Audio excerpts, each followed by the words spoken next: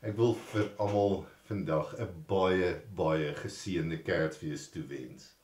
Die vraag is natuurlik, wat bedoel ek? Wat bedoel ek as ek sê geseënde Kersfees? Trouwens, wat bedoel ons as ons in hierdie tyd so vir mekaar so maklik sê geseënde Kersfees? Wat wens ons vir mekaar toe?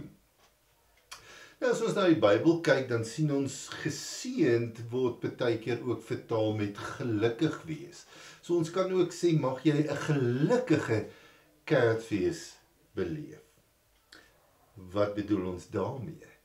Wanneer het 'n mens 'n gelukkige Kersfees? Jy sien so baie keer het ons hierdie idee 'n gelukkige Kersfees is as ek baie goed kan kry. Dit gaan oor wat ek kry. Maar gelukkige Kersfees gaan oor gee op twee vlakke. In die eerste plek, dit gaan daaroor dat ek besef wat dit is, wie dit is, wie God regtig gegee het toe die Messias gebore is. Hoe God homself in totaliteit vir ons gegee het. Hoe Jesus volkome God, volkome mens, sonderlose mens aarde toe gekom het. God het vir ons die Messias gegee sodat ek en jy wat in hom glo werklik verlos kan wees. So ons moet in die eerste plek besef wat God vir ons gegee het, wie God vir ons gegee het. Maar in die tweede plek ervaar ons die die geseentheid van Kersfees eers as ons ook leer om te gee.